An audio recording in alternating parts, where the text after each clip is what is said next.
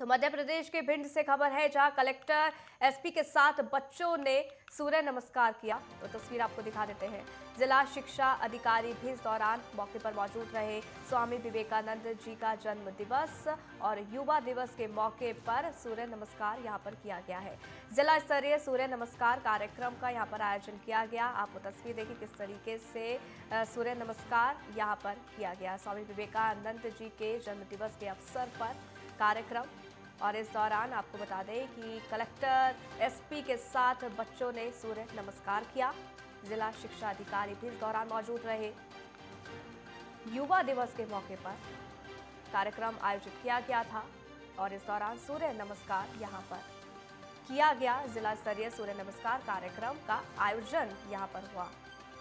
देखिए तस्वीर। विकास होता है इस आसन से। दो हस्त उत्तानासन हाथों को फैलाइए, ऊपर की ओर देखें। श्वास भरते हुए ये प्रक्रिया होती है। पेट के अंदर के अवयवों का व्यायाम होता है। पाचन क्रिया में लाभदायक।